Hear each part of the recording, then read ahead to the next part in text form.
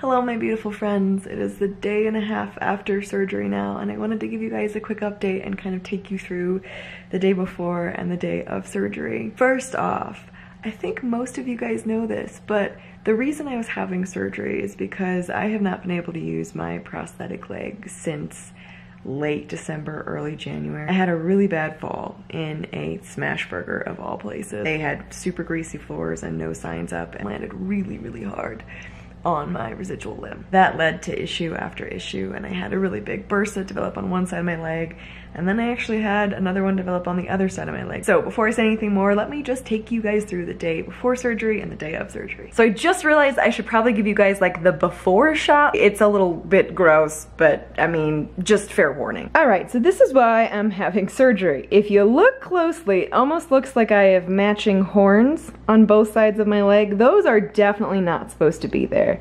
This is a, a bursa. It's really painful to press like from that side of things especially.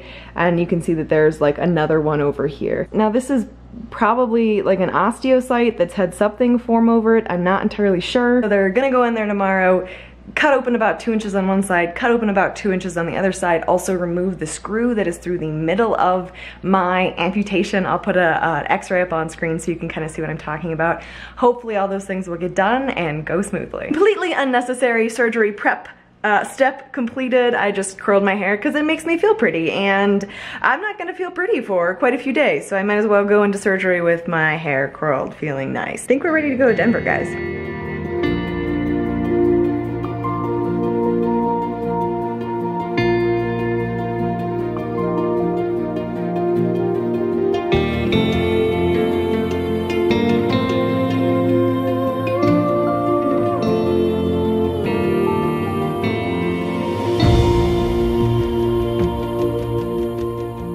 Are safely in Denver in our lovely hotel room, which I'm super grateful for, and I'm tired and ready to rest. We stopped at a car show, which was super awesome, spent a couple hours there. He was super happy like a kid in a candy store, which made me happy to see and helped me kind of relax before all of this. I feel ready for this. I feel ready to get done. I have a lot of fears and a lot of doubts, but more than anything, the predominant emotion is let's do this, you know, it's time. And so I'm ready to rest up.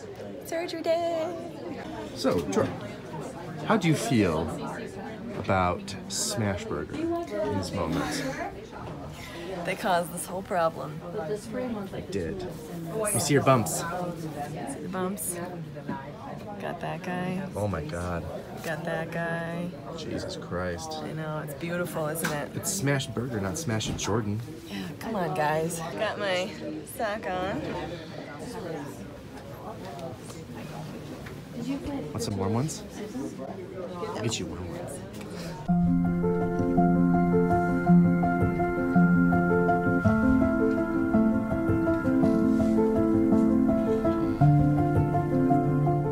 Is it going? So I just got out of surgery. Apparently there were two bursas, as I expected, and they removed the screw, and uh, I think everything basically went well. So uh, I'm gonna. Surgery. Words are hard when you're coming out of anesthesia. Uh, basically everything went well. I'll need some more crackers and go home. How are you feeling? Yeah, you're all done. Snacky snack time.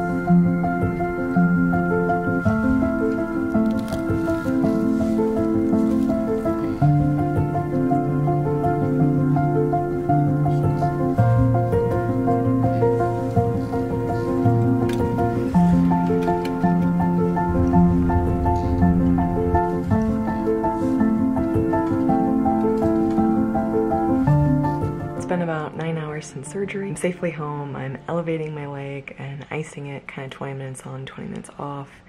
Uh, I've been sleeping a lot. Good morning, friends. It is the day after surgery, morning after surgery, and I just got done reading through so many of your comments. I'm truly blown away by your thoughts and care and concern and just everything you guys have said. It, I can't tell you how much it brightens my day and touches my heart even when I'm groggy and barely with it like I am right now. It really makes an impact on me. But I wanted to give you kind of just a quick update before I go back to sleeping because I'm pretty out of it. Made it through the night okay. Uh, slept for like two hours at a time, and then I'd be up and then down again. Um, when we were getting discharge instructions from the hospital yesterday, the nurse said, you know, in regards to coming out of anesthesia, she gave like this long list of symptoms and then summed it up by saying, basically, you're just to feel like crap for the next 24 hours. And that's so accurate. Um, I don't know if anesthesia does this to you guys, but it's more like 48 hours for me. I just feel like I've been hit by like a bus and I'm exhausted and groggy and nauseous and just like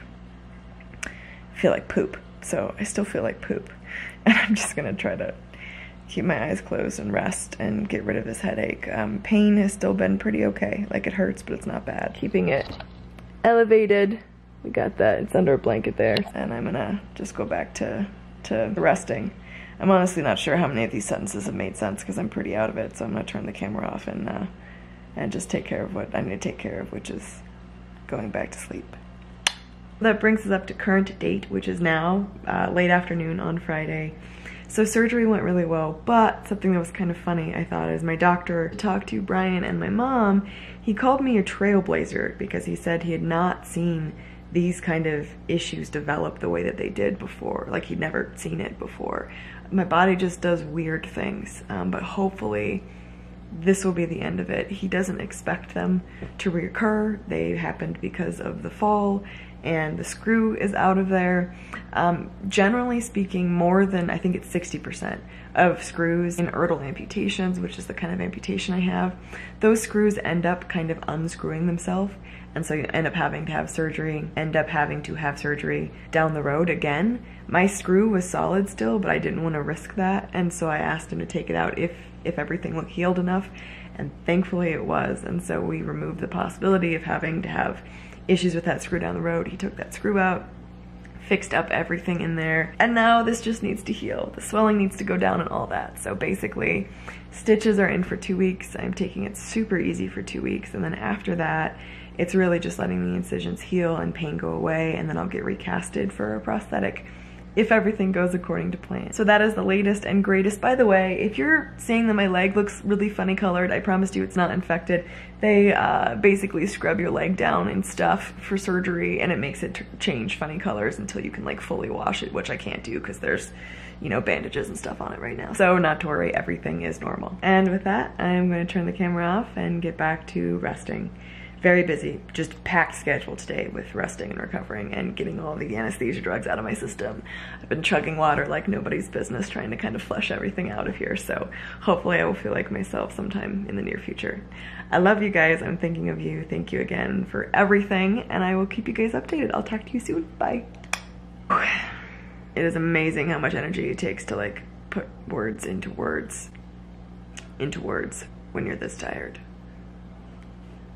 think it's clear from that sentence that I should just stop talking.